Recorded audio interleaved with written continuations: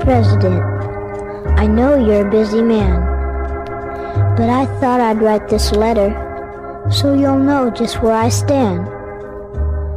A lot of folks don't agree with you, but I don't think they're right. Cause I've been taught when it comes to freedom, it's everybody's fight. My dad served in World War II with a lot of other men. He agrees with you about Vietnam, and I agree with him. I guess every boy would like to be president, and I used to think I would. But if I had to take the things you do, well, I don't think I could. I've seen kids on television carrying signs up and down the street.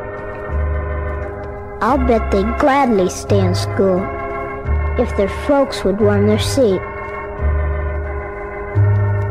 They're just doing it to get attention while they pretend to care. But there's people who always want the best, but aren't willing to do their share.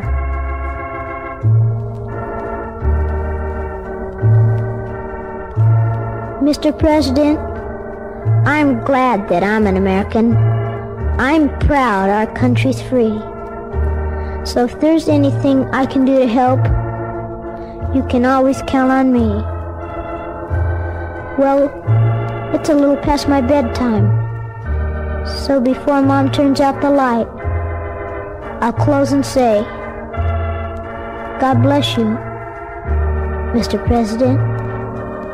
Good night.